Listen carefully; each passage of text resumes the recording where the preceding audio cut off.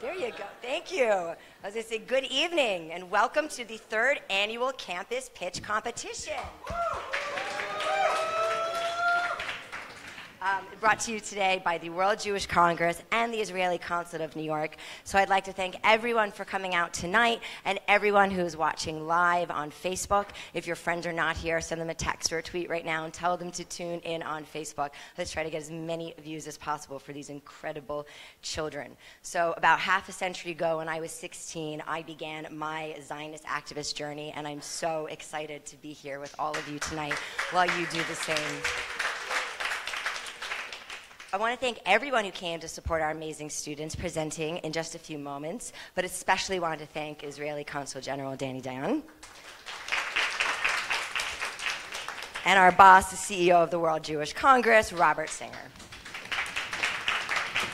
So the third annual campus pitch competition was launched in September 2017, and tonight is the culminating event of a semester-long campaign in which students groups from New York, New Jersey, Ohio, Connecticut, and Pennsylvania submitted proposals for events, initiatives, and ideas to change the conversation about Israel and issues, Israel and Jewish issues on campus.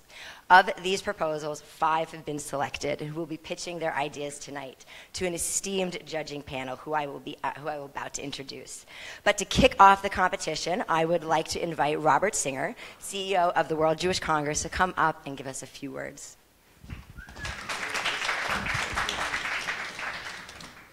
Thank you, Melissa. Uh, I would like, first of all, to thank all of you for coming tonight. It's a beautiful uh, evening outside, and you're here and welcome you for this important event. As Melissa mentioned, she, or maybe she didn't, but she's a member of the World Jewish Congress uh, Jewish Diplomatic Corps. Uh, it's a WJC flagship uh, leadership development program. I hope very much that many of you, all of you, will become uh, members of the Jewish Diplomatic Corps in the, in the next future. Now, as Melissa said, this is the third annual campus speech competition, which we have carried out in partnership, in a very close partnership, with the Israeli consulate in New York, who are doing a really fantastic job. The whole consulate, but especially Consul General Danny Dayan. At the beginning of the academic year, students from New York, New Jersey, Delaware, Pennsylvania, and Ohio were invited to submit their proposal for an initiative that would help broaden the conversation about Israel on campuses or encourage increased participation in Jewish communal life.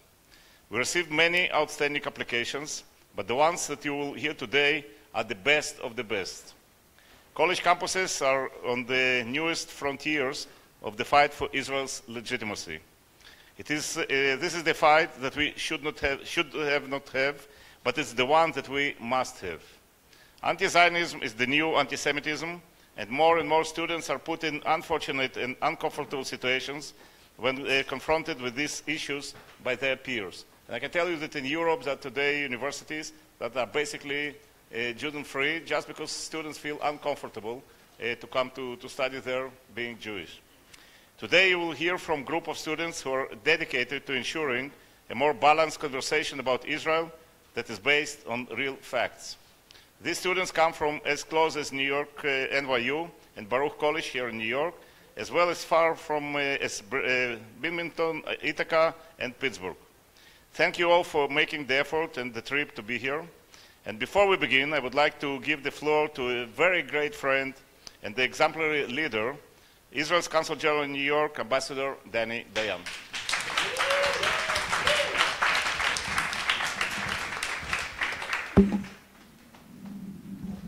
Thank you so much, Robert. Thank you, MJ. Um, it's really great to be here. You know, we are the they say the startup nation, but I don't think that's correct. I think that we are the innovation nation. The Jewish people, and especially Israel. But I must admit, uh, unpleasantly, that when it comes to public diplomacy for the sake of Israel, we think we are so too much confined inside the box. Um, and uh, we do not apply enough innovative thinking, innovative thought um, to make uh, campaigns for the sake of Israel, for the sake of the truth, actually, that uh, give place to that innovative qualities that the Jewish people and Israel has. And since uh, we, that includes you, don't smile, we are already old guys, it's hard for us to uh, get used to out of the box thinking. We resorted really to you that uh, can give us ideas that we may, maybe overlooked or we weren't uh, talented enough to come with. Uh, so that's one of the reasons we make this pitch, this competition, because we think that uh, you are, as students, as young advocates for Israel in academy, you are those that can give you the winning ideas that sometimes we overlook in the day-to-day routine. And there is a second reason. Um, the fight for the war. I think we can say the war. As Robert said, the war for Israel's legitimacy, for Israel's, for justice for Israel, um, takes place mainly in the campus. The trenches of the 21st century war for Israel are in the campus, in the American campuses uh, to, to a large extent, also the Europeans, obviously, but not less here in America. And you are in the combatants for justice for Israel. So the second reason we made uh, this competition is uh, to, te- to, tell, to say to you thank you. To tell you thank you for the fact that it's not obvious that you take a significant portion of your time or, or, your effort, your intellectual capabilities to think about Israel, to advocate for Israel, and yes, to fight for Israel in the trenches of university. So I really, uh, on one hand, uh, I want to say how much we admire your what you do, and, and on the second hand, to say how much gratitude we have for what you do. Um, unfortunately, you know that in New York City there is not one evening in which there is only one Israeli event. Also, this evening is no exception, and uh, unfortunately, there is another uh, event I have to participate. I will get uh, updated. I will maybe I will, while I don't speak on the event, I will see, I will look at the Facebook broadcast of the of this event, which is, by the way, much more interesting than the other one, and uh, which more younger people than the other one. Uh, so I apologize. I will have to leave. Um, but again, thank you so much for all you do, and thank you so much for your dedication, for your talent, for your thoughts, and uh, Am Israel Chai. Thank you.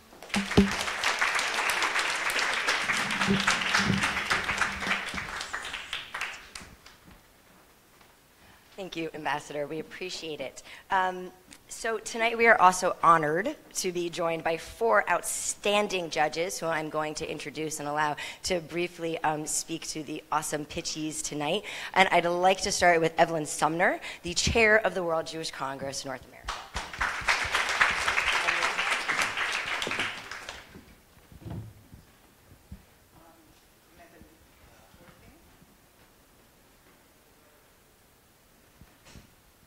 you. I have the great pleasure of chairing the North American section of the World Jewish Congress, an organization that represents international organizations from all over the world and also communities from the furthest places in the world are represented in this organization. Uh, I'm very, very proud of what you are doing here today. Of course, like the Consul General said, we're very grateful to you, but much more than that. You are in the forefront of the struggle against BDS, against anti-Semitism, against anti-Zionism. You are truly our ambassadors, and we are so very proud of you. And now, uh, my very own sister, Galit Peleg, the, um, the, uh, who is the Consul for Public Diplomacy at the Israeli Consulate. Thank you, Angela. Good evening. For the last about 20 years, I've been uh, working with uh, what we call Hasbara, or PR for Israel. Now we call it public diplomacy. The name changed. The goal never changed. Never changed. The, the challenges are developing. Um, I know since I came here, it's not easy to be uh, Jewish. It's very complicated.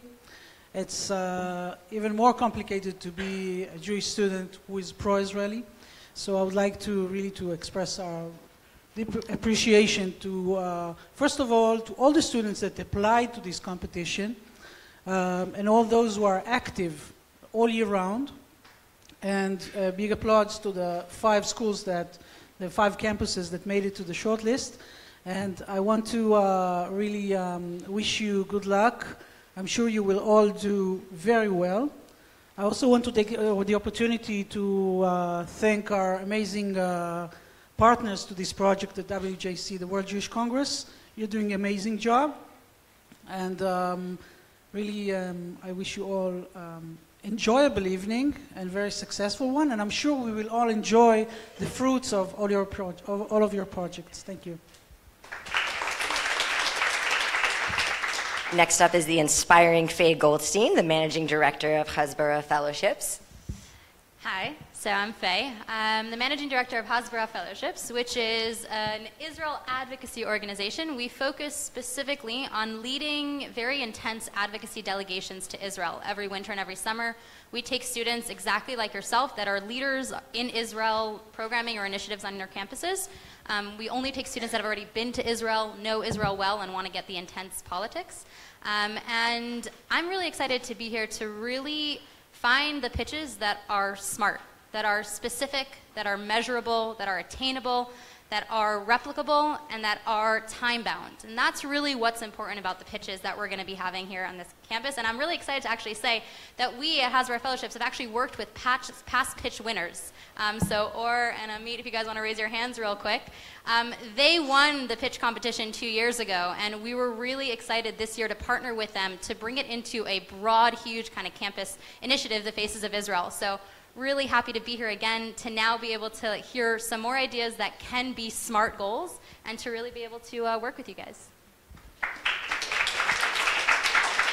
And last but not least, the man, the myth, the legend, Shahar Azani, CEO of Stand With Us here in New York. So, good evening. I just want to say that it's truly exciting to be at the Jewish event and pro-Israel event uh, where the average age is indeed at the level of 20s and 30s. Uh, I have to say that to stand with us, who's been in the field side by side with you for over 16 years, it's exciting to see what more is coming on the way to come for the public diplomacy of Israel out there. And I'll end with the advice that pertains to tonight and for each and every one of you in general, the holy trinity of Israel's public diplomacy. It is knowledge. Know what you're talking about. Enter the arena while you're equipped with the information. It's passion.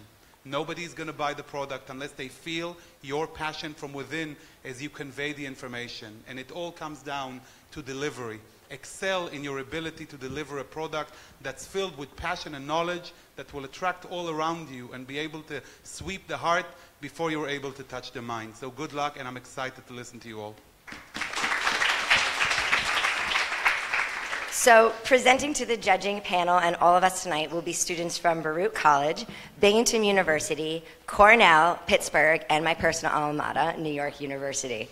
Um, and the teams have been working really hard over these past few months, developing their projects, working on their pitches. So we commend them for all their initiative, and I want to thank all my fellow World Jewish Congress diplomats who I know are working alongside of you this entire time. So this is how this tonight's going to proceed. Oh, round of applause for the World Jewish diplomats. Um, so this is how we're going to proceed tonight. Each group is going to have five minutes to make their pitch, which will be followed by a maximum of two questions from the judges and a question from all of you here in the audience. Um, the students will have a maximum of just one minute to answer the question, and we will be timing you and keeping track. So be, be careful of how long your speeches are. And those of you asking questions, please note this is not a speech or a statement. It is a question. There's a difference. And if we have to cut you off, I've been informed I have that power. So and I will wield it. Um, at the end of the presentation, our judges will choose the winning group, and the criteria for the criteria for selecting the winning proposals will be feasibility, innovation, intercommunal, intercommunal component, potential impact, and the relevancy to current Jewish and Israel related issues.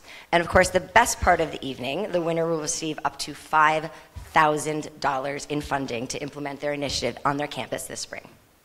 So, without further ado, it is my sincere pleasure to welcome our first group, Goldie Gross and Ben Davidoff, our presenters from Baruch College. Come on up, guys.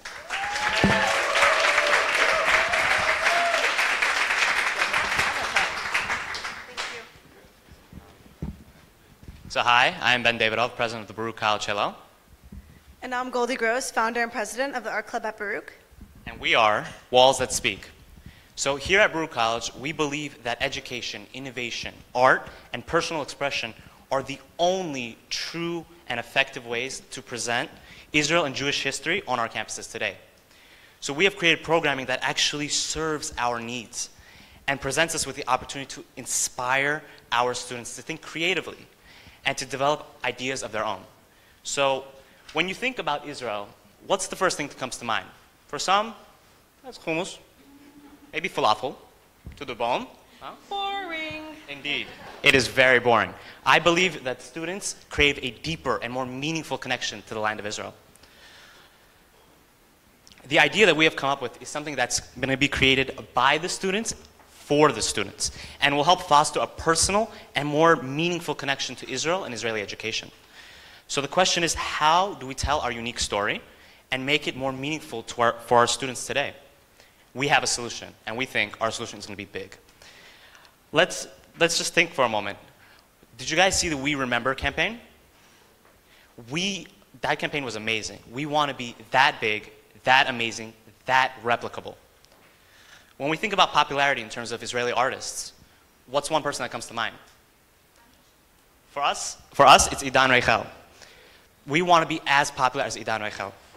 So our solution is going to be huge. Try to pull that one. Um, and our solution is Walls That Speak. So our program consists of allowing students to, to decide how to tell their own story. And it, it comes with a five-stage process. So stage one, exploration of our legacy. We are going to gather students and ask them simple questions like, what is Israel to you? What is meaningful to you? What images tell your story? And there's a common factor in all that. It's you, the student body. So now we come to stage two, where we make it personal. So we're going to ask students to filter the most significant and the most meaningful moments of our legacy throughout this discussion and create the truest representation of them on our campuses. So stage three is the art part. Now, how do we take these really intense, meaningful ideas and turn them into tangible art pieces? Through discussion and deliberation, we can take these ideas and turn them into symbols and make something that's relatable to all the viewers of the mural. So whether that's a person standing on one foot for Hillel, or figuring out how to represent the Holocaust necessitating a Jewish state to call our own, everyone's mural and sketches will look very intensely personal and be very relevant to the place where they are. Stage four is painting. So we're going to transfer a sketch to any large-scale wall or canvas through a grid and paint by number process. And paint by number is great because anyone can do it. So you could have a really good convergence of communities and some nice unification over art in Israel. Our main partners are Hillel at College, the Art Club at Baruch, Vitaly Amansky Studios, our very own artist, Faces of Israel, and Jewish Art Salon. And Jewish Art Salon is key in this project because they're the largest organization of award-winning contemporary Jewish artists, and they have an artist in every state, in every country, who will know our curriculum, who will be able to teach it at any university or Jewish center across the world. So here are some of our partners, club partners from school. And as you can see, a lot of the cultural clubs are already in on this. This is important because we want to engage the non-student audience, uh, non-Jewish student audience in our project as well being that we're Baruch College and we're one of the most multicultural campuses in the United States, with over 18,000 undergraduate students and over 100 languages spoken on campus, we believe that it's important that projects like ours are put into place, put into effect, because it will give us the power to inform audiences other than our own. And it's, the best part is that it's, it's a there's a feasibility factor to it. Behind this project, we can recreate this in any Jewish center, any Hillel, any campus across the world. Now we come to stage five. Walls continue to speak. The walls will continue to speak and tell our story to the community for years to come. This is going to be an educational tool for our community now. Imagine you're walking down the halls of your school and you overhear thousands of students saying these exact, exact phrases. Who is that? What does that represent? What's going on here? What does this mean to me? Students and staff will be able to teach dozens of Israeli and Jewish history lessons and pass over our legacy to the next generation of incoming students. And if it's Baruch College, it's thousands of students coming in every single year, every semester. Each new class will have a new perspective and will interact with these walls that continue to tell our story. And this will also give us a new opportunity for education, engagement, and advocacy with Jewish students and with non-Jewish students. This the students will be proud of this interactive, self-produced, democratic representation of their Israeli heritage and legacy, and students will embrace this artistic produ production as their own. We know that many other campuses across the world will be able to replicate this and make this amazing, and we hope that it will be just as amazing and as replicable as the We Remember campaign. So just remember, if there's a wall, there's a way. Thank you for your time. Thank you, Goldie and Ben. That was incredible. I know that we are going to take two questions from the um, two questions from the judges, and then one question from the audience. So please start thinking about your question. But I'd love to throw it over to Shahar. Okay, so a quick question for you. Do you think that using the word walls to describe a project that pertains to Israel is a smart idea? Because I, for one, can think about a wall that speaks. Uh, thank you, Shahar, for your question. Um, we believe, yes, that that is a good point that you brought up. But what's good about this, the feasibility aspect behind it is that it's not just on the wall. We can put it on a canvas. We can put it on a poster board. We can transport this elsewhere. So it won't necessarily have to be only a wall because we're trying to make it that every campus can recreate something like this. It doesn't necessarily have to be a wall. It could be a canvas. All right, one more question from our judges. Um, a bureaucratic question. Um, how easy do you think it will be to get permission from the institutions, from the universities, to paint on the wall and to keep, you said, walls continue to speak. So how long do you think you can, uh, how easy do you think it will be to get permission for that? So that varies by school, but if a school is not open to that, it's very easy to paint it on a canvas and to mount the canvas without doing any permanent damage. And if a school doesn't want it on, on a wall forever, we could say we want it just on certain critical Jewish days. And it could be, it could like go up for a few days, go into storage very easily, or can stay up all the time. Great, we're to take a question from the audience. Anybody? Yes, all the way in the back.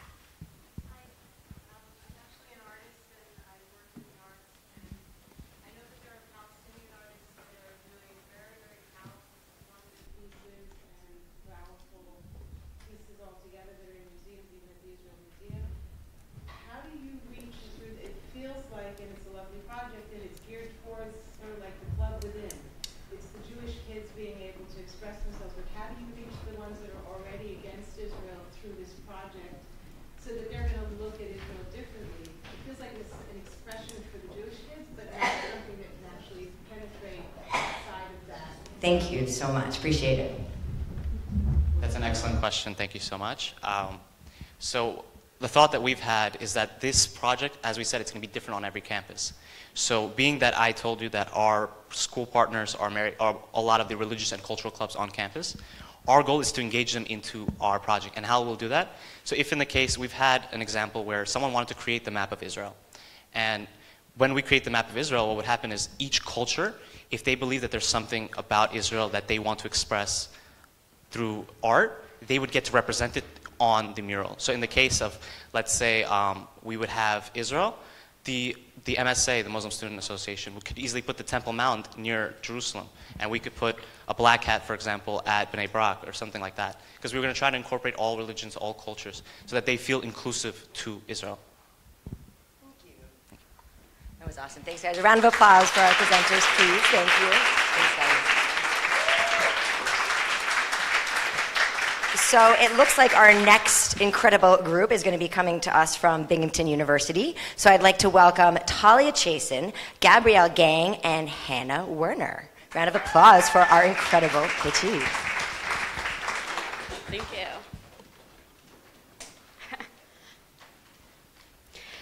Clear and simple like water. The fact that Israel does so much good with its water is clear, like water's simplistic image. Israel has evolved from a developing country to a sustainable one in such a short amount of time.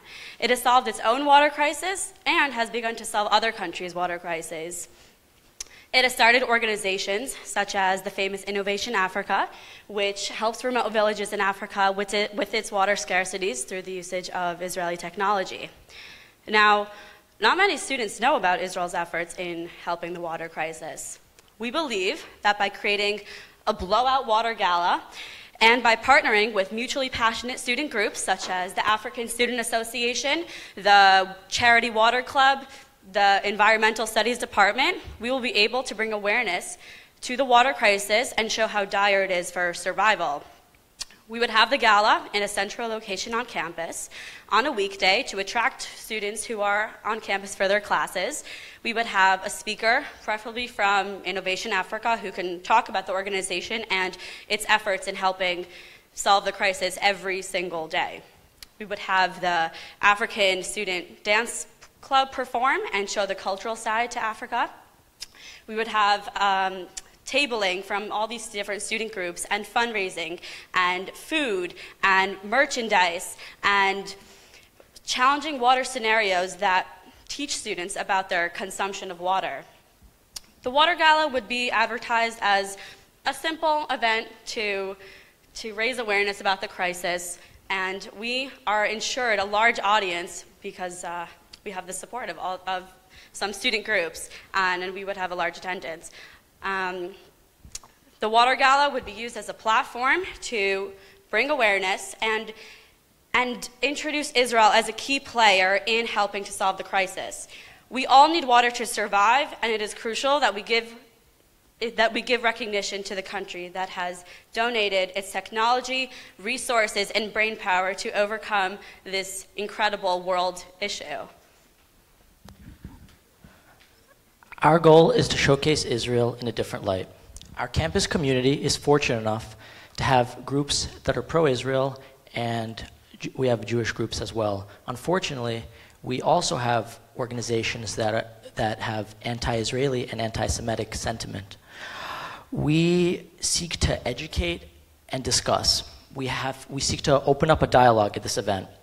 I ran a survey that gathered a decent amount of submissions on opinions of Israel and knowledge of its philanthropy. And what I found was that, was that as Jewish and inclusive as our university is, there are many misunderstandings that we seek to address. Our team, 1948 Co., is behind this event. Our brand encapsulates everything that Water Gala is. We are a student run non nonprofit project that sells merchandise promoting this logo here, and the profits go directly to Innovation Africa. Why? Imagine this students at campuses all around. All different, from all different associations walking around with this logo on their shirts, people would come to understand there's a common understanding that they are supporting something bigger than themselves. They're supporting the Israeli water effort in remote villages in Africa. They're contributing to helping over 130 villages in Africa within eight, across eight countries. We intend to expose our mission and demonstrate that Israel is at the forefront of the water effort in Israel, and demonstrate that, is, uh, and demonstrate that uh, Israel is developing and transporting its technology and making it accessible to countries in need. We seek to open up donation opportunities for Innovation Africa at this event, and the immediate, therefore, thereby the immediate impact of this event would let students understand the water crisis and Israel's role in combating it, and the long-term impact would make students understand that they are involved in fighting this this, these scarcity issues by supporting this brand and attending this event. All students will be welcome when they come to this gala event, and moreover, we intend to make this variety of students leave with an open mind when discussing Israel and recognizing its humanitarian missions. We will cater to curiosity. Israel has declared its surplus of water in recent years. It has advanced infrastructure and desalination systems. And we seek to inform students from, that Israel is leading is playing a leading role in the issues they keep so close to their hearts humanita- humanitarian causes that resonate with everybody. By involving different student groups, creating this blowout event, we can finally give Israel a new, well deserved image. Water Gala gives us the platform to promote, promote Israel from a new perspective, one that's humanitarian and forward looking.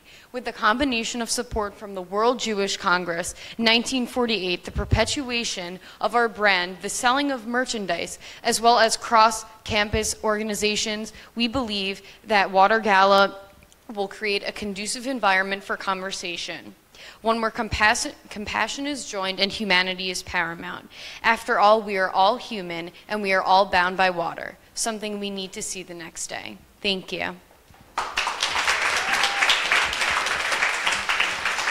Thank you. Guys, that was incredible. I'd love to throw it over to our judges for two questions. Faye? Hello. So, how are you gonna? You're gonna spend probably a lot of money on this gala because galas cost a lot of money. You're gonna spend a lot of money on the advertising. You're gonna spend a lot of time convincing these groups to come and join you. And let's say it works, the gala works. What's the next step other than having a nice logo on a T-shirt? Because that logo looks nothing like water. It looks nothing like the Water Gala project. It looks nothing like innovation or sustainability. How are you going to make sure that people walking by afterwards know what they're talking about and know what, what they were participating in? Ongoing education, where does that come from? So, through the sale of our merchandise, at our university, people will come to understand that this logo, though it has nothing to do, though the logo itself is just a map of Israel, this vibrant map of Israel, um, we, we can ensure that the students who wear this design across campus, it will spark curiosity. It's a minimalist, minimalistic image, and people will begin to understand what this cause is going to. People will begin to link th- this map of Israel with the philanthropy and the philanthropic missions that Israel accomplishes. They'll understand that the efforts, um, the Israeli efforts in combating water when they see this logo. And we intend to promote this across universities with ambassadors and um, yeah, so we think that the mission will become very intertwined with this logo over time. Over how much time? Just following over that, and then I think we should get another question because I didn't get an answer from that. It was basically you're assuming people are going to see the logo, remember the water gala, ask a question to the person wearing the T-shirt, get a decent response, and understand that that has to do with water. I'm kind of missing the loop of understanding the purpose because I think the water gala is fantastic. I think you need to change your logo. Okay, so the Water Gala is a platform to cause to immediately educate to immediately educate the student body on Israel's effort. We, we intend to invite speakers, and this logo and this project is part of a long term effort to ensure that people remember what they people remember what this logo is about, and people remember the event, and people and this we can ensure a long term kind of we can in term we, a long term impact that sticks with students. So it's it's more a promotional tactic that people can think back to the gala, and people can recognize that they were intertwined. Especially when the Innovation Africa speaker comes and speaks at our event, we can people understand that connection. That's a great question. Thank you. It's a very interesting idea. Have you thought of uh, including the ambassadors and consul generals of the countries that Israel has developed already water programs, especially in Africa, and inviting them and including them in your event, in your gala, honoring them specifically and asking for their participation? If I'm not mistaken, Shachar, aren't you the, the Israeli Consulate General in, Africa? We would love to have you at our campus. um, that's, a, that's a great idea. Maybe we can have more than one speaker. Um, we plan on having the gala for uh, three hours, give or take, so students can come in and out when they, um, when they please. Um, and we would advertise our speakers and for example we could say from 7 to 7.30 we, we would have the speaker from innovation africa and then following where uh, we could have from 7.30 to 8 shachar possibly could come and uh, um, recognize the gala I'm, first of all, I'm sold. I'm sold. I love water, but I just on. have I just have one one small question.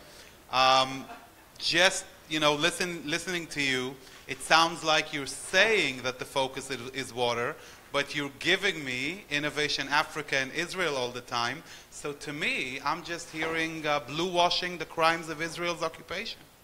Are you trying to do a falafel dance so that I don't see the, the wall and the other issues and tell me that you de- deal with water? I'm just wondering. Sorry, what is what's the question? How are you going to address the accusation that this is not really about water, but about whitewashing Israel's crime through this uh, focus or partial focus?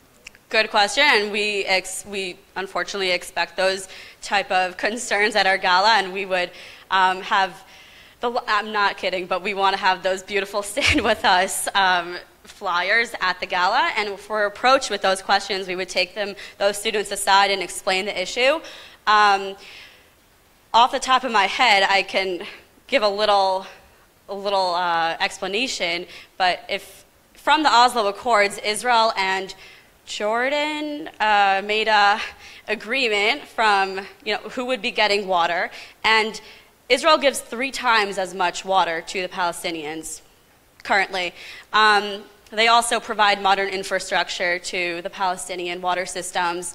Um, so this event, yes, it's we're attracting a different crowd. We're attracting the environmentally passionate students and the the the students who are concerned about Africa, but it's our way of, of highlighting Israel's role in the water crisis and what it's doing to improve the situation every single day. And it's doing pretty amazing stuff, so we just want to highlight that. Yalla. So I would love to take a question from the audience. Anybody? Yes, in the back. Can you stand up, please, and talk really loud so that people on Facebook can hear you? Hi, Facebook. I've organized in my life several hundred events. That five thousand dollars to make a gala sounds very low. If you win this, how do you intend to find the rest of the funds to do this or cut corners so you can actually score? Okay. Okay, so I think we wanted to name it a gala to make it seem like an event and make it more attractive. Not that it's not a gala, because it is a gala. We're trying to explicate something really cool. Um, we have a couple of connections with other organizations on campus, and students have the ability to reserve large rooms on campus. I also have a connection with people involved in the media, so I really think that it's about all of us coming together to pool our resources.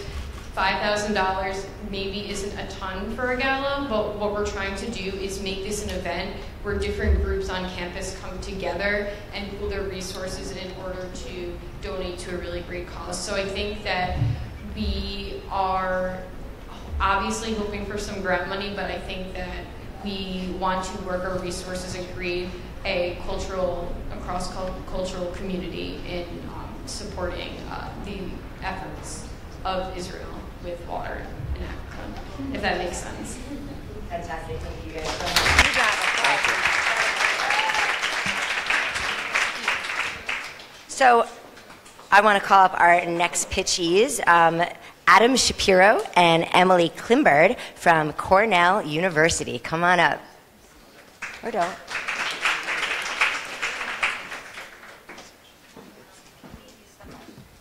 Okay, thank you so much. Thank you. Where's the remote? Where's the remote? Where's the remote?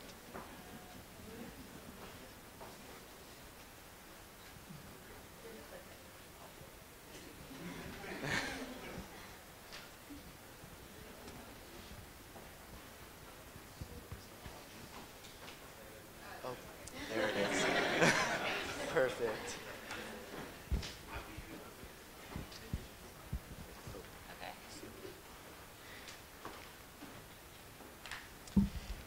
Judges, audience, $85,000. That's the cost today to send 20 non Jewish student leaders to Israel. Now, why spend that sort of money on so few students and to have such little impact, having at least half the students come back to campus not even feeling any pro Israel sentiment? I'm Emily Klimberg. And I'm Adam Shapiro. And we're not only here today to launch our new revolutionary Startup Nation mentorship, we're here today to save you, the global Jewish community, the money and resources that you deserve to be spent wisely. Okay, so first we're going to start off with the agenda. We will start with the problem and go all the way until what we need in order to make this mission uh, happen. So there are many problematic things going on on campus. There's uh, Israel Apartheid Week, um, SJP, and free Gaza signs and checkpoints. And we feel that that is problematic, but that's not the problem that we're trying to tackle. There are students in libraries doing homework and worrying about their careers and not focusing on the Israeli Palestinian conflict. So, oh, so as Emily clearly stated, the vast majority of students really don't have time and don't care to get involved with activism and the Israeli-Palestinian conflict. We've actually researched that 95% of students define themselves as neutral towards the Israel and the conflict. So we're here today to fill a niche that currently is not being filled, and we want to tackle the 95% of students who are worried about their careers and their academics. So here's our solution mentorship, Israel and America, hand in hand. The solution is mentorship for non Jewish students by Israeli professionals. We feel that we're qualified to provide a mentorship program because I, both of us have led mentorship programs on Cornell's campus. I led one for the Industrial Labor Relations School. And I've led one for the Johnson School of Business with alumni, and we both have created extensive mentorship programs. We've created them and learned how to effectively manage them. So our program is simple. What we're going to do is connect non-Jewish students on our campus with Israeli professionals in whatever field they desire to go into. So consulting, engineering, architecture, you name it, we have an Israeli professional for you based in Israel or based in the United States. So essentially how this program is going to run is we're going to have three sessions over video chat on Skype over a three month period followed by some dinners and checkups in between and a closing ceremony. Now, in these chats, what's going to happen is the mentor is going to ask the student, what do you want to gain out of this? And most students are going to say, you know, I want a deep perspective on the industry. I want to learn how to get to where I want to go, whether that's learning about resumes, whether that's learning about, you know, just the right way to position themselves. So now we're going to illustrate how the program works. So here's Bill. He's a non-Jewish student who wants to start a career in consulting. Then you have Dan, who's a leading consultant at McKinsey and Company. This mentorship program will pair the two together and it will give Bill a face behind the Israeli conflict. It'll grow a personal connection and then they will finally enhance their pro-Israeli sentiment. So why the Startup Nation mentorship? We feel, besides for giving a face behind the conflict, it will also expose them to the professional world behind the the Israeli um, economy, as well as it'll give them a tangible benefit besides for just going to events and instead of having kids sit at libraries, it'll enhance them and bring them to the conflict. So why the Startup Nation mentorship? It's innovative, it's a different approach. It um, focuses on 95% of students. It also is feasible, it's easy to replicate. A mentorship is free. Also, um, a Hillel leader will be chosen among every campus, and that's how we will replicate it. It's intercommunal, and it's also impactful. It will be spread around campus through word of mouth, and Israel will be seen as a place to celebrate, as well as it will create a network for students with Israelis. Also, it's relevant to current issues. It fights negative stereotypes about Israel and subconsciously highlights the dangers of BDS. We hope that in years to come, these students who become leaders in their fields will look back at their careers and say, wow, Israel and its citizens helped me out and have a warm spot for Israel.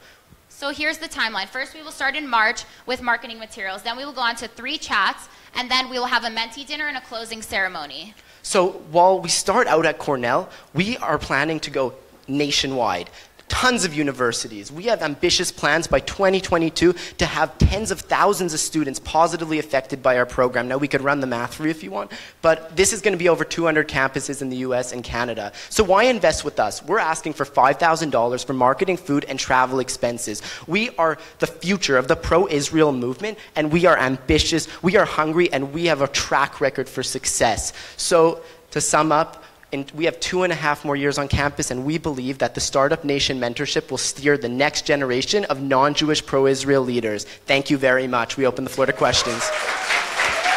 That was awesome. That was awesome. Thank you guys. You talk almost as quickly as I do. Um, I'm going to ask the judges for two questions, and this time only two questions. I've been threatened with penalty of punishment if I allow that to happen again, Shachar. Do it so, quickly. who would like to ask the first question? Galit? Working? Yes? Okay. So my question is, uh, first of all, it's a very um, innovative idea, I must say, very original. Um, you talked about 200,000 students, so you will need 200,000 mentors. So where do you find 200,000 mentors? How do you uh, um, um, um, how do you um, choose the, the mentors and how do you screen them uh, to achieve the purposes that you, you actually uh, set for yourself? For sure, and that's a phenomenal question. Thank you so much. So uh, you, you may have misheard. My apologies. Um, we didn't say 200,000. We said 200 campuses and uh, just tens of thousands. So we had um, roughly 40,000 students. Okay, I'll correct myself. 10,000 mentors. 10,000 mentors. mentors. Well, no, so um, we actually have really thought this through. So we have, uh, between the two of us, a ton of connections to the right people with the right mentors. So we've spoken extensively, whether it was at the Inon Elroy, who is the economic minister to North America of Israel, who is fully invested in this program. And I mean, he runs the, diplom- the economic mission here. Um, whether it's the World Jewish Congress, um, whether it's even um, our business connections. So at Cornell, we're both extremely involved with the pro Israel movement and have a ton of resources. Also, I think it's important to highlight that it wouldn't just be Israelis in Israel, it'd be Israelis around the U.S. and also all over the world. So it's not just about Israelis in Israel, it's about connecting all Israelis to U.S. or non Jewish students all over the world. Yeah, and there's also a. s- We got one minute, I've been Ooh, okay. You guys on track. Okay. The first answer was great. So um, I'd love to throw in one more question from our judging panel. Shachar, Ju- we'll ju- ask the question. yeah, yeah, just a quick one. Um, first of all, c- beautiful presentation. Thank Love you. the delivery, the play, phenomenal, truly. But my question to you is, being Jewish doesn't guarantee support for Israel, and you uh, declare that you define this only for the non-Jews. So if I'm Jewish and I love Israel, I'm barred. If I'm Jewish and I hate Israel, I'm barred. And the second thing is startup. Why do you limit this mentorship only to issues concerning technology where you have um, cultural uh, authors, other people who travel around the country who could be excellent mentors on creative writing and other issues? The core of mentoring could be expanded. So, as a, thank you for the question. As a matter of fact, we want every field to be represented. So, not technology. It could be the English arts. It could be really anything. And that's sort of the premise of it. We call it the Startup Nation Mentorship, and we will not advertise it towards non Jewish students, but it's really just geared. I mean, this is a I'm guessing majority Jewish audience, but it's geared towards the entire campus, and we know that our campus is vastly majority not Jewish. Um, but the whole goal is that we're not going to be accepting people who are active in like the Israel community, and also um, who have never been to Israel, and, and most Jews, um, you know, are active in that space. We also feel that people in different majors or whatever it is, they want to have that connection um, through professional, like career based, but they feel that all the Jewish students have like there's so many different programs, but we want to cater this towards non-Jews because we feel that they're the ones not paying attention to the conflict, and it's important to create this coalition with them and you know create that alliance that will help them support us when a BDS movement comes on campus. Thank you. That was really incredible. Thank you guys.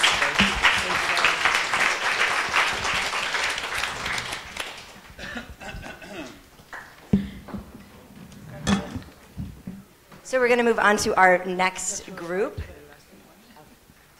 Um, and I'm super, super excited to welcome up uh, Rebecca Stern from my alma mater, NYU. Come on up, Rebecca. Rebecca's our only presenter on her own tonight, so big round of applause. Thank you. Everybody. Um, my name is Rebecca Stern. I'm a junior studying uh, media culture and communications at New York University. And for the past year and a half, I've had the wonderful opportunity to serve as the president of Torch PAC, which is NYU's Israel advocacy and discussion group on campus that focuses on politics. And our goals as part of Torch PAC are to promote political engagement through encouraging dialogue and direct involvement in the US political system. And every week at Torch PAC, we have our members come into a room, we close the door, and we set up a topic. It is a political current event that has happened over the last week. Um, and what we do is we open the floor up to debate. It is a roundtable debate. Everybody has a chance to participate. And having the exercise of doing this weekly has been a tremendous opportunity of growth for me um, and for the other members of Torch PAC. I walk out of every one of our sessions with a better understanding of not only the issues, but also of others and my own opinion, how I've arrived at my opinion and what reasoning I have to defend my own opinions. It's been a very, very healthy um, exercise to take part in. Um, I really believe in, in facing the issues head on um, and understanding the nuances and complexities of an issue before I formulate an opinion. I think that's vastly important. And as such, discussing the issues, complicated issues with those who disagree with us, is crucial in gaining a broader scope of the Israeli Palestinian conflict in particular. Um, it's important to understand where our opinions come from and be willing to engage with people who disagree with us. And that's something that I see disappearing from NYU's campus every day. I see people expressing their opinions and getting shut down and labeled and blacklisted simply because people disagree with what they're saying.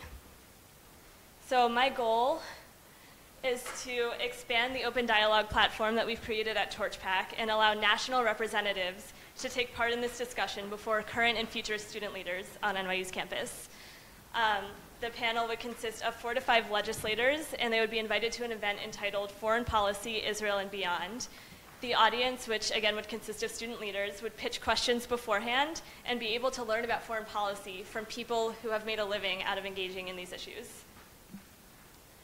Um, the panel members would consist of one conservative member of Congress, one liberal member of Congress, one conservative member of Knesset, and one liberal member of Knesset. Um, all of these people have made a living working with these issues, and student leaders would benefit from hearing the complexities and the nuances and the unexpected issues that they encounter as they try to solve foreign policy issues for their respective countries. Also, it would give insight into the complexities of the issues through engaging these differing perspectives. All of these people work with similar issues every day and have arrived at vastly different conclusions on how to solve problems um, in terms of foreign policy. Uh, finally, I would propose one uh, final slot to JVP. Um, if they would like to propose an elected official to join the panel, uh, we would be happy to open the discussion to them and engage with them on issues like this, and it would allow us to have a better understanding of each other and put the politics aside um, and try to learn about each other and where we stand and how we arrive there.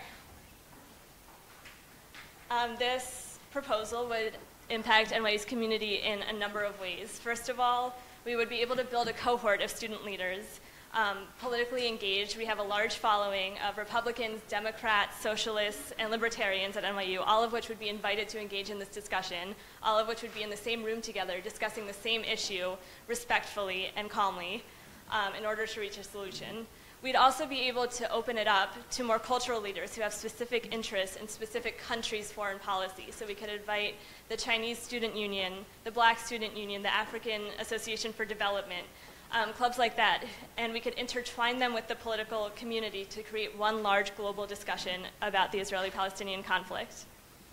Um, it would also allow us to open a discussion with JVP if they're willing to engage in the conversation with us, but if they are not able to engage with us, we would still be able to have a lucrative and successful discussion with the student leaders who do choose to attend.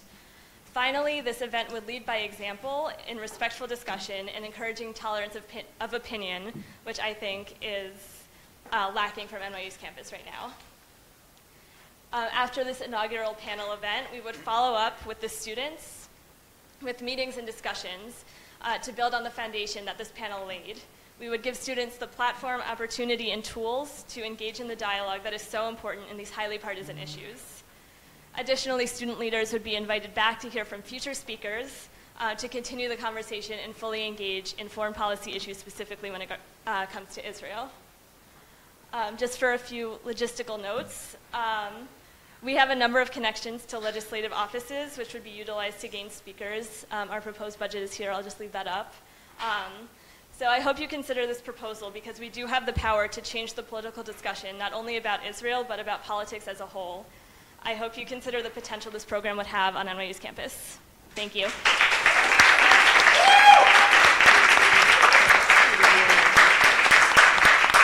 That was awesome.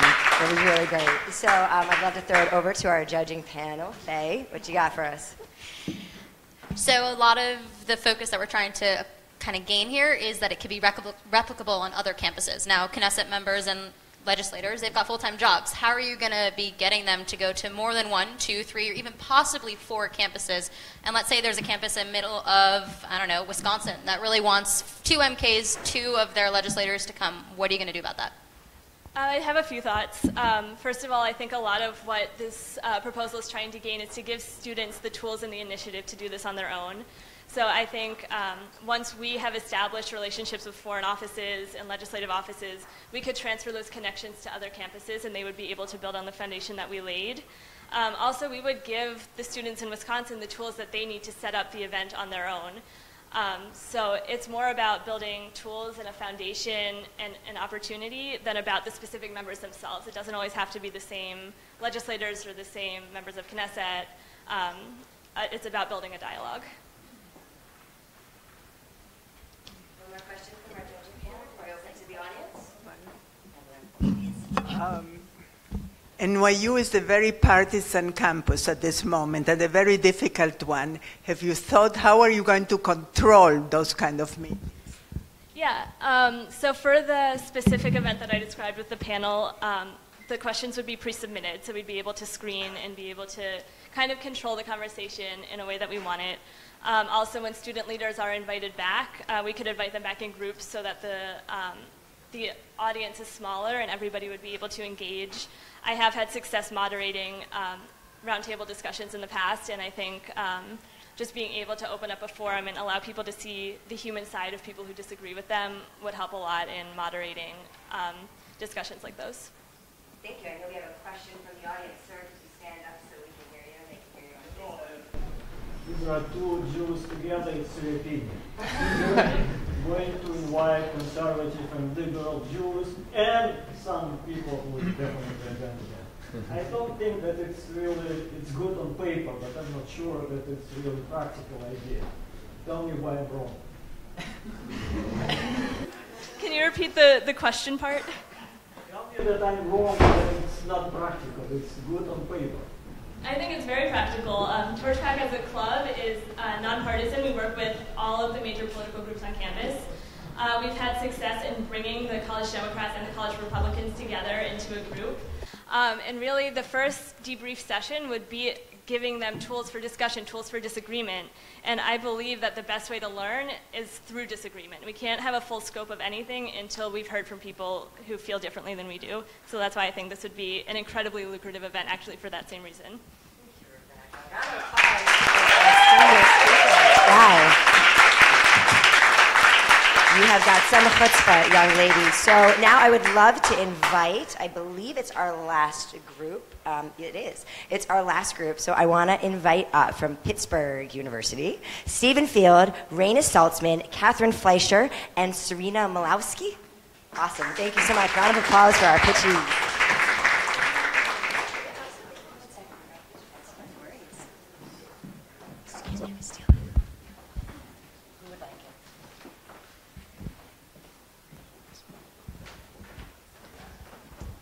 Hello, everyone.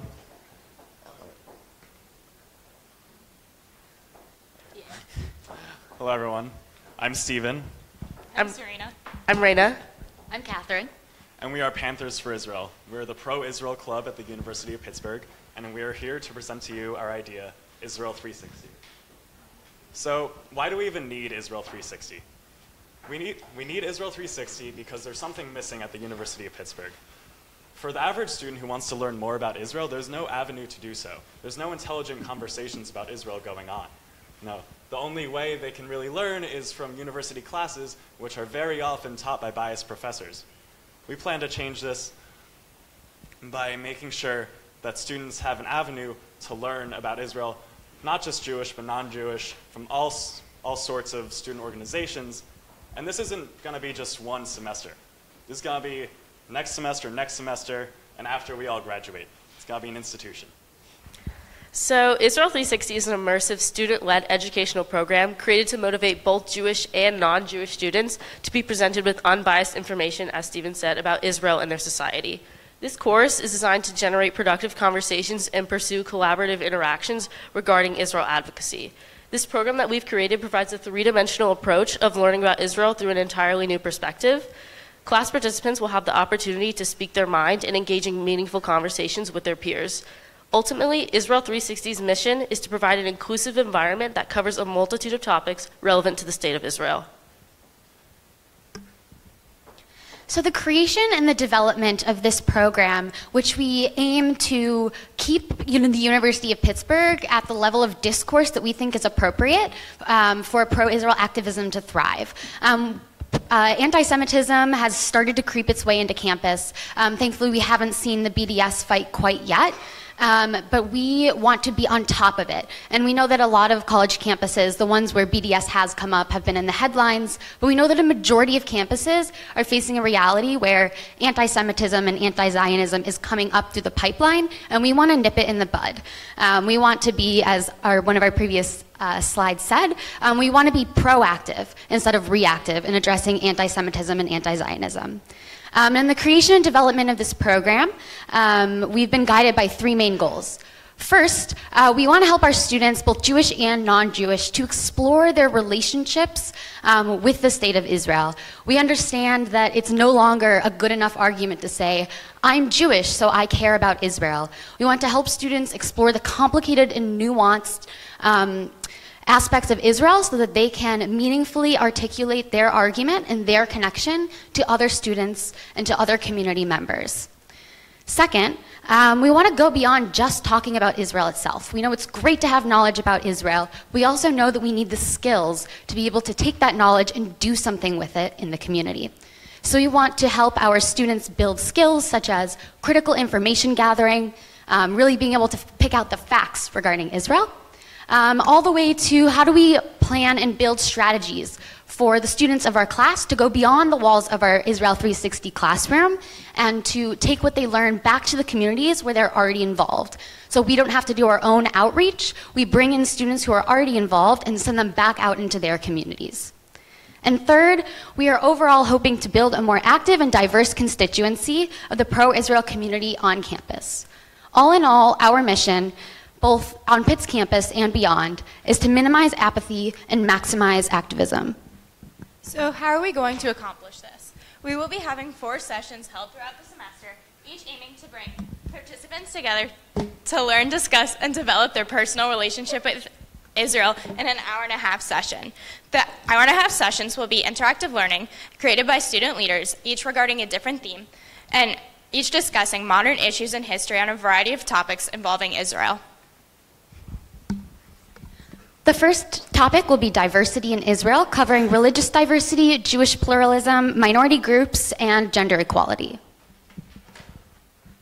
The second class will be the Israeli Palestinian conflict, which will give an extensive history on the issue, current politics on both sides, and also brainstorming and discussing realistic solutions to the issue. Third, we'll talk about Zionism. So, what is Zionism, the history of Zionism, but more importantly, what does it mean to be a Zionist now on a college campus, and what are the misconceptions about Zionism today? The fourth and final class will provide participants to create their own Israel advocacy toolkit, which will comprise of students learning effective communication skills, practicing critical information gathering, and creating action plans to engage in pro Israel activism on campus. So, how are we going to do this? So, the participants are comprised of a group of 20 Jewish and non Jewish students. They all have diverse political leanings, various prior knowledge levels regarding Israel, and they are required to attend all classes.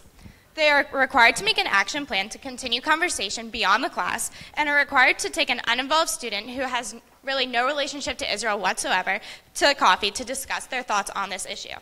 We are continuing to spread awareness through the role planning and implementing of our Israel at 70 week on campus. Thank you so much for listening. Our goal, purpose, and vision is to aid in the creation of a diverse pro Israel activist community on the University of Pittsburgh campus today. Thank you. Huge round of applause for our last group. Thanks, guys. So, judging panel, two questions. What you got? Galit? I think uh, today everybody is thinking how do you get Jewish students to talk about Zionism, how would you get non-Jewish students to talk about Zionism? And some of the other uh, topics as well. So this covers a slide that sadly we didn't get to. Um, we're going to incentivize students with a $70 stipend, 70 for Israel turning 70. Happy birthday, Israel. Um, and this is, and yeah, it's, it's an incentive. And we're also going to provide students with a $10 Starbucks gift card. This isn't just for pleasure, though. This is so that they can bring one of their friends out to coffee and have a discussion about Israel. Another question from our judging panel before I open it up to the audience? Thanks, Faye. who are you going to have teach these sessions? So you're obviously going to sit and develop some sort of curriculum, some sort of lesson plans, some sort of prompting questions. But again, I'm going to go back to our random campus in Wisconsin. How are you assuming, again, that this can be taught on other campuses with the same vigor that you guys obviously have? Absolutely. So we're actually really excited to announce that we've already set our project in motion, and we're hoping for this money to help us establish it um, as a sustainable course and then to spread elsewhere. Um, we've already developed all of the curriculum, actually. Um, it's written up in terms of resources, it references um, the Israeli government's information, it references multiple uh, like reform, conservative, orthodox um, advocacy sites regarding Israel, um, various pro Israel organizations. Um, so we used outside resources and each of our connections, as well as our Israel Fellows connections, um, to build the curriculum. It's already typed up, um, it's all ready to go, and basically just needs to be passed on to a campus. The community needs to be involved, and then it's just up to implementation. Fantastic, thank you. I'd love to take a question from the audience. Yes, in the back. Uh, Yossi Hertz from Hasbara Fellowships. Can you stand Um, up so we can hear you? Yes, Thank sure. you so much. Yes, my name is Yossi Hertz I'm from Hasbara Fellowships. Um, very often there are there are a lot of lectures that happen on campus that are similar to this. Um, you know, Hillel's run this. You know, Chabad's, all sorts of Jewish organizations run, run these sort of lectures all the time. And the challenge is that many students will, you know, do these lectures, but at the same time, it doesn't necessarily galvanize them to then become activists. They simply enjoy the lecture and then they go back to whatever it was that they were doing. So my question to you is, why is your lecture going to uh, motivate students more than any other lecture that um, that Hillel or the, you know the shlichim from the uh, Jewish Agency? Why would it motivate students more than what regular Hillels can do on their own? Fantastic question. Um, one of the elements of this is that, so they're going to take the class, and that's not going to be all, though. They're going to have the commitment of the Starbucks date, and they're also going to have a commitment of helping planning our Israel at 70 week, which we're already doing um, this semester. We're going to have a whole week when Israel turns 70 of like events on campus, such as like tabling with Israeli food or giving out flyers about great Israeli organizations, that kind of thing. The students are going to plan one of those days. So this is going to turn them into like active constituents of Panthers for Israel. And then as semesters go on, it'll more more students will participate, and suddenly Panthers for Israel is a thriving club at the University of Pittsburgh. Um, and I'm going to add really quick too that our point um, in recruiting students was to recruit them from diverse places. So often Hillel or Jewish student groups are drawing from the same crowd of people who enjoy these lectures, and as you say, leave it at that. Uh, but what we're hoping to do is bring in students who are very well established in their own communities, whether they be social, political, um, academic, etc., um, and then have them create aspects of Israel at 70 Week or conversations that are pertinent and relevant to their communities. You so much. Huge round of applause for our last group.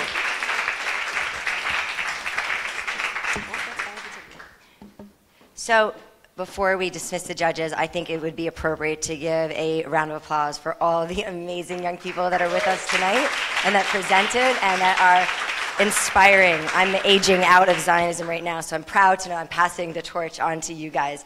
Um, so the judges now are going to have exactly five minutes, just five minutes, and Corey is going to make sure it's just five minutes to decide who the winner of the $5,000 check is. So I'm going to ask you kindly to go over to the deliberation area. I've been told has been set up for you over there. Round of applause for our judges for being a part of this very special evening. Thank you so much. So while we're waiting, don't go anywhere. We've got some more stuff for you. Um, while we're waiting for the judges to come back, I want to take a moment to thank the World Jewish Congress and Robert Singer for being with us tonight. And round of applause. I want to make sure we thank the Israeli consulate of New York and Danny at whatever boring other Jewish event he's at. I'm sure he's watching all of you on Facebook right now. Um, this is a really amazing initiative, and over the past few years, it has grown we're almost done, guys.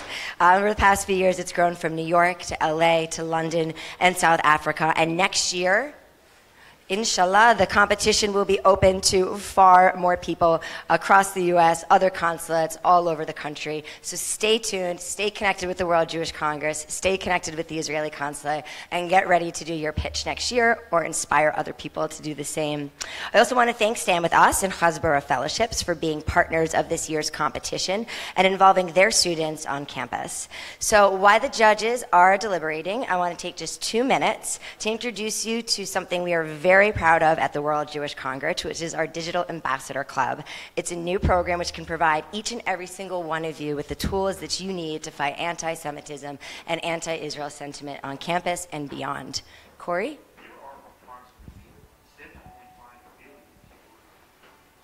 that 1.1 billion of them are anti-Semitic. there are 51 predominantly Muslims.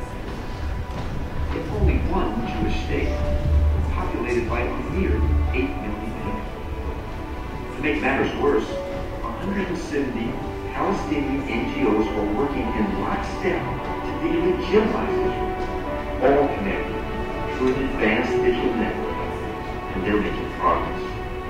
Today, we refuse to lose. Introducing the World Jewish Congress Digital Ambassador, a communications platform that connects enables and empowers advocates of Israel and fighters against anti-Semitism to work collaboratively, consistently, effectively, and endlessly. But we can't do it without you, or you, or you. The first step is easy. Become an ambassador. Visit our website, register, and act. In 2013, while we're being attacked every day in every way, we will stand up and put down these evils together. Join now.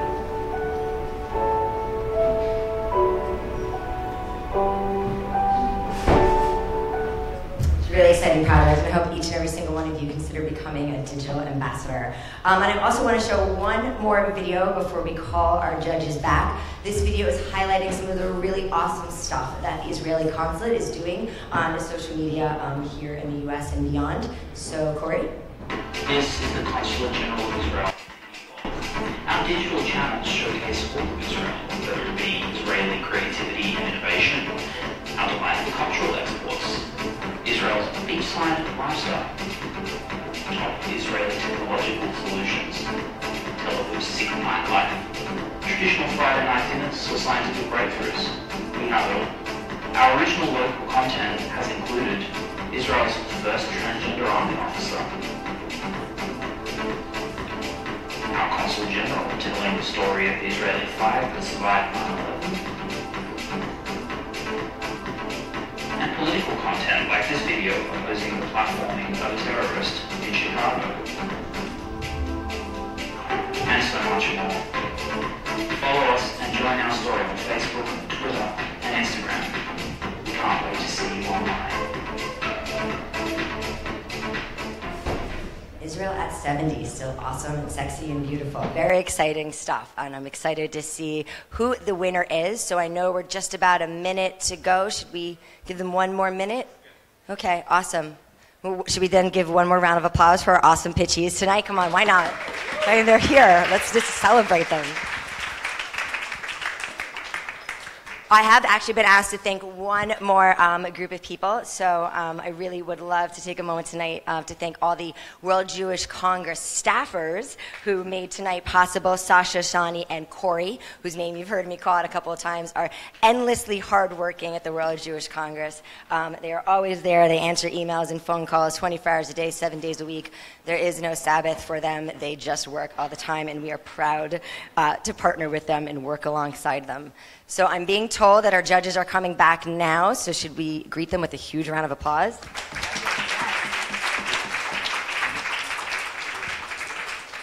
So I know that um, somebody's got a choice, but I am going to actually call up the World Jewish Congress's very own Robert Singer to take the honors of announcing the winner.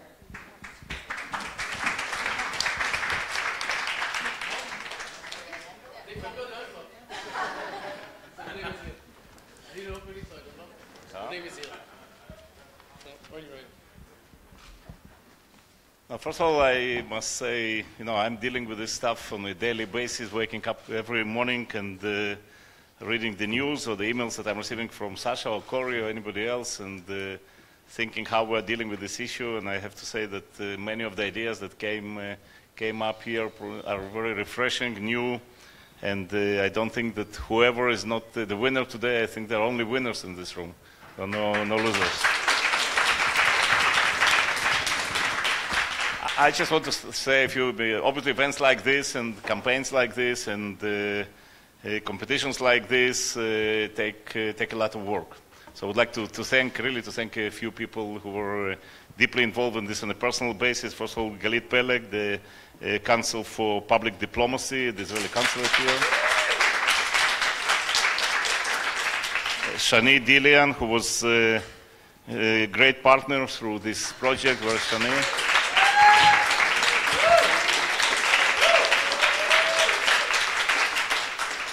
I just want to thank two people who, together with Daniel, who is my chief of staff, and uh, Shira, but the two people who run this, uh, uh, this project, Shira is my uh, head of my office in uh, the World Jewish Congress, but the people who really uh, fueled this thing, one is the head of the delegitimization and BDS unit of the World Jewish Congress, Sasha Dratwa. Where is he?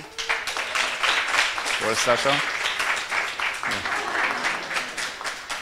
And the other one is his deputy who joined us at your age fresh from the college. Uh, Corey Weiss and me, know, became a deputy of this unit and uh, the guys from the guys from the Baruch College mentioned we remember campaign. We just wrapped it up today. Uh, I mean, the campaign was finished about a week or ten days ago, and then uh, just to tell you a short history of this, because what they did is what you are uh, aiming to do, from what I saw during this uh. Sasha came with the idea of this campaign to World Jewish Congress about a year ago, and we aimed the last International Holocaust Day to reach out to six million people. Uh, at the end of the day, we finished the last year campaign with uh, 250 million uh, people uh, reached. So they came this year and uh, so they came this year and said again, let's do it. And I said, listen, once you reach the peak, if you will go down now, the whole achievement of the last year will be will be gone. And they came with the idea that we'll try to outreach to much bigger numbers than the 250 million people. So uh, the campaign finished. Uh, we had a meeting last week, uh, 10 days ago, with the Pope, and the last uh, kind of participant of uh, Remember campaign was uh, Pope Francis. And just before him, or day after him, was the Chelsea Football Club in London. And uh, so when they came to me with the numbers, I said, I don't want to go out with the numbers. I would like you to engage uh, uh, external evaluation uh, from uh, external companies who are dealing with this stuff of uh, evaluating activities on the social media. So we engaged three different external evaluators, and ju they just came with the numbers. just we just published it today, actually, two, two hours ago. So this campaign that was guys from the Baruch College mentioned of We Remember reached uh, 654 million people uh, worldwide. In other words, every 11th person in the world was uh, reached out with a campaign which is called We Remember and asked himself well, what this We Remember, we remember is. And uh, this leads to different dialogues, different, uh, different things. And it was a teamwork of many, many people, I guess also many, many of you, because many Jewish organizations, some 90 Jewish organizations joined with us in this campaign, including the organizations sitting around this table who really stand with us is uh, fantastic. They are our neighbors in Jerusalem, and uh, they're a very active part of the campaign. And Hasbara Fellowship, from what I hear from my people, uh, this is the main partner on colleges and universities, and really it's an opportunity to thank you, and please send our thanks to, the people involved, uh, involved with you. But uh, so this just shows what you guys spoke here about, that when you have a good idea and you are determined, you are motivated, and you're ready to go, to go far, that's what you, these are the numbers you can reach, and this is what you, what you can do. Now, uh, you know, it's written in my script to say while only one of you will walk away with the grand prize, you should all take pride in all your work and ideas. Uh, but I want to say nobody is going to go out without the prize. I discussed here with our chairman here, with uh, Evelyn Sommer. So every, everybody will go from here with something.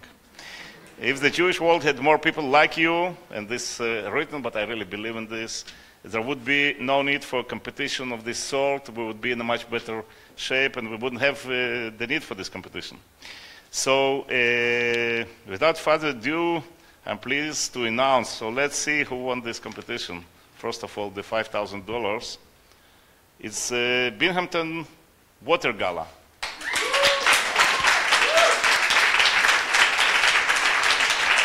So please stand up, stand up, please. But I do want to say, first of all, congratulations. But I do want to say we don't want to lose any of the ideas here.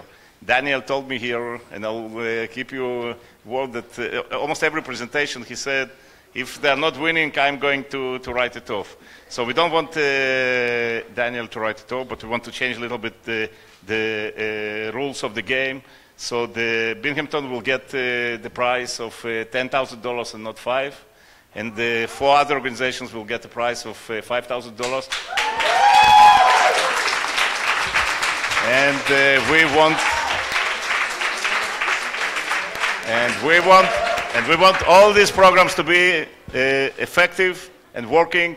And Sasha, believe me, I know Sasha. He won't let you off the hook. You will see that it is implemented. Thank you very much to everybody.